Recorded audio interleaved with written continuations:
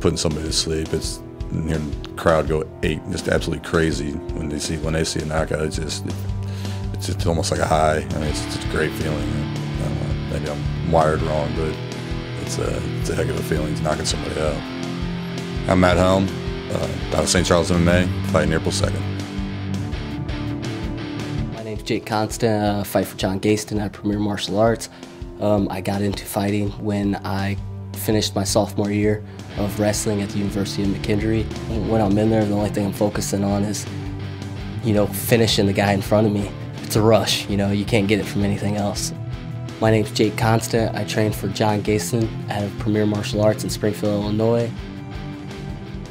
Having my uh, having my hand raised at the end of the fight, uh, coming out victorious. I guess uh, ecstasy is the only way to describe it. Um, it's you put in all the work.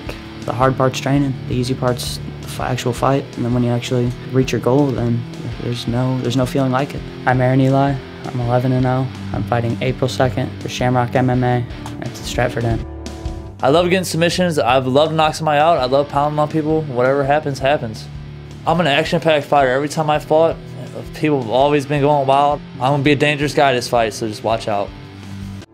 My name's Matt Williams. I fight out of John Gayston's Premier Martial Arts. Um, there's only three things in my life I do, you know, that I love, and that's hunting, wrestling, and fighting. There's nothing like it. All them crazy people jumping off buildings with parachutes and whatnot and driving fast cars. It's, you know, this is my fast car. And that cage door shuts and you're like, yeah, it's on.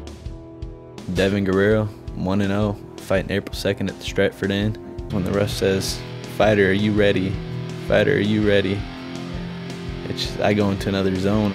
I've been in the gym every day working my ass off, so come watch me whoop some ass.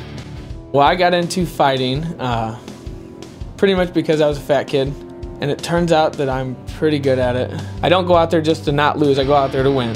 I guarantee my fight alone is worth the price of admission. Everybody that comes to watch me fight knows that I go out there to put on a show. I know within about four seconds, I can put him on his ass and he'll be sleeping. He may want to bring a pillow and a blanket because he's going to sleep. I was undefeated. I was 6 0, and uh, I lost my first match because Zach Freeman backed out. I had to go up a weight class, and I lost my second match because he backed out, and I had to go up another weight class. I blame both of my losses on him, and I think somebody deserves to pay, and he needs to pay for it. I accept responsibility for my own actions, and uh, I've never really heard of someone blaming a loss on another fighter that dropped out.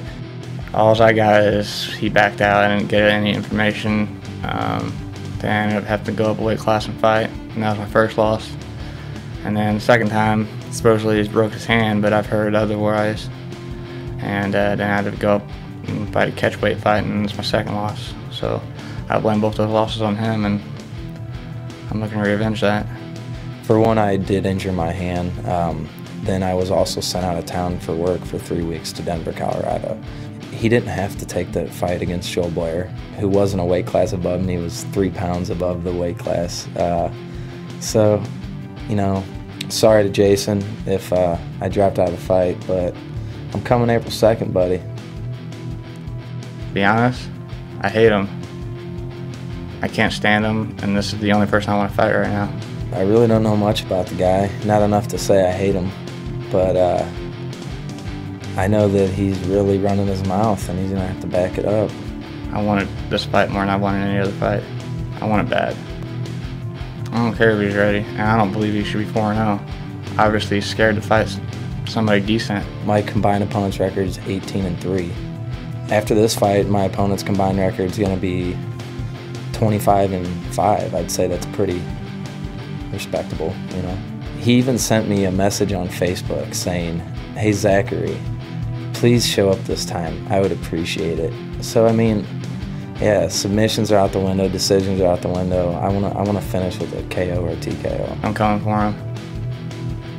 He's already messed up my MMA record. Now I'm gonna mess up his. I'm Jason McDaniel. Fighting Zach Freeman, April 2nd, Stratford Inn. I'm looking to kick his ass. He hasn't been to the World Championships of boxing. He hasn't won the Chicago Golden Gloves, the St. Louis Golden Gloves. My stand-up's great. My last guy, brocked him, blood all over the place. Almost broke his nose, swelled up eye. My stand-up's great. I ain't gonna let nobody, you know, hit me. he can think all he wants. You know what I mean? Um, I feel like that I got you know some of the better stand up around here. I might come from a wrestling background, but I have three or four KOs. You know, I feel pretty solid standing up. So, you know, I, I'm not really concerned. I, I think he's going to try to take me down right off the bat. Um, I, yeah, once I hit him with my jab or my two or anything, or I mean, he's going to want it on the ground, just like the last opponents. Jake Constant doesn't want to stand with me. We'll see when it comes April 2nd. You know, that's what I love the most is when somebody's coming at me hardcore, going, you know, balls to the walls, trying to knock me out. That's usually when they open their self up, and I usually knock them out. No, I never see anybody even hit me. Um, I just wish that um, you know he stands and bangs with me. Last guy, he didn't want no part of my stand up. Um, you know, I can't wait to line him up. He has a mighty mouth. You know, let's see if his uh, hands can back it up. Jake Constant, you better train hard because I'm gonna knock you out in the first round. He's pretty green. He's only had one fight, so try to make him fight my fight. Stand and bang with me. I'm going to defend his, his takedowns and just try to work him. I've got a lot of experience, and it's there's high level collegiate wrestlers that have trouble defending my takedown. So, I mean, that's going to be a, a, challenge. He's used his wrestling abilities. I've always used my hands. I mean, we're going to have to switch it up because I don't look for this to hit the ground. I mean, if he wants to strike with me, I welcome it. Game plan's to make him stand and bang, show his fighting abilities, just like I'm going to show mine. I'm working hard and long at this to fight the best. Uh, as far as defending the takedown and you know standing and striking, that would be my game plan if I fought me too. You know, would be to defend my takedown and do that, but that's a little easier said than done with the background that I have and the over 15 years of wrestling experience that I have at the high level that I competed at. My way of fighting, standing and banging. Let's throw these hands, take the streets to the cage. I see myself winning by a hopefully a submission move. I think I could submit Brian Shell. No, he won't submit me. There's no definitely that will not happen. Fighting Brian Shell, uh, the game plan wouldn't be to take me down. My ground skills are going to be better than his. I think if I beat when I beat Brian Shell, that they'll look at me a little. They'll have a little more respect for me.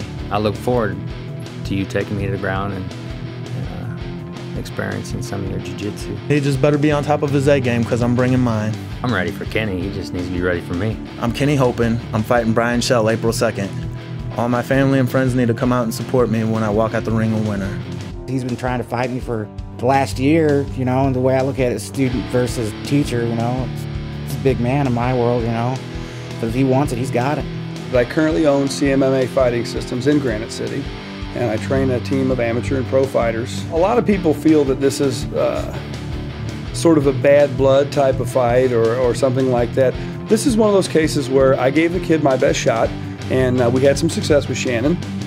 And now he's training with uh, Mike over there at St. Charles MMA. I don't know. I just kind of lost focus. It Just seemed like the gym wasn't where I wanted to head.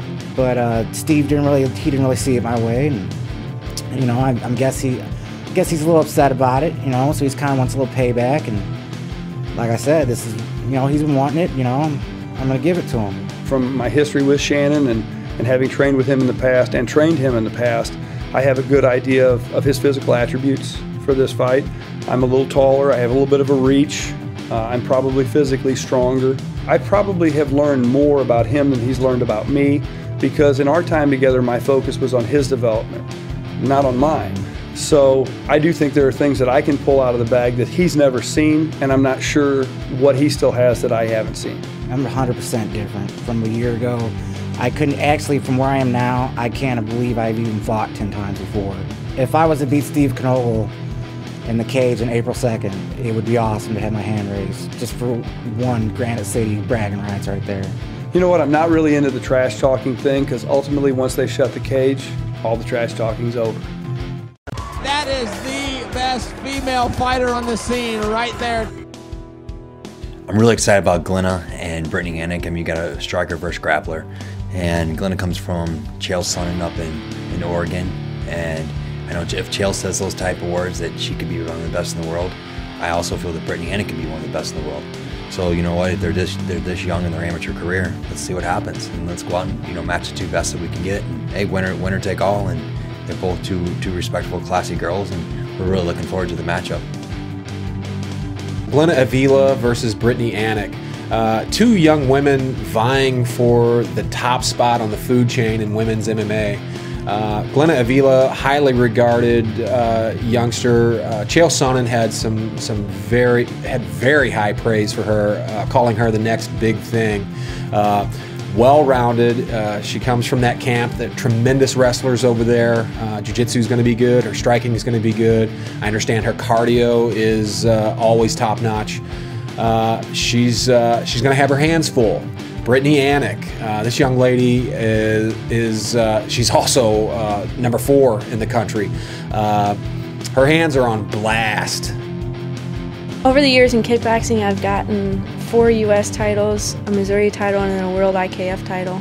Right now, I'm ranked number four in the world for uh, amateurs in my weight class, and I plan on moving up pretty quickly. I'm not the type to sit here and talk trash about my opponent. I think that uh, all the talking will be done in the cage on April 2nd. with Glenna, by watching a little bit of tape that I have seen on her, you know, she is she is a super tough, aggressive, in-your-face type fighter that makes for a great main event. And you know what? If I was if I was betting on the show, um, I'd flip a quarter. But I also, at the same time, as being Brittany's coach, I also want to put Brittany in the toughest fight she can. So when the pros come, she's ready for them. I would put Brittany to stand up against any girl in the world. And I don't mean the country, and I don't mean uh, one tournament or another tournament or another one organization against another organization. I say the world. Brittany and I, uh, when you look at the rankings, they, they ranked her below me. Uh, I don't really agree with that because our records are identical. We're both five and zero. I think it's a, it's anybody's game, and that's what makes it exciting, and that's why I need to train so hard. I think this is going to be probably one of the toughest fights that I've ever had to face, and hopefully I'll be one of the toughest fights that she'll ever have to face. April 2nd, uh, Bad Blood. Uh, Shamrock MMA has put together a masterpiece. Uh, uh, eight fights on this card. Eight of these could be main event fights. Uh, you've got the number three ranked girl in America versus number four. Uh, we've got Knogle versus Walsh. We've got the Altar Boy. We've got Finney's MMA. We've got Hit Squad. This is going to be a who's who of the Midwest fight scene. Uh, it doesn't get any better than this. April 2nd, Shamrock MMA, Bad Blood.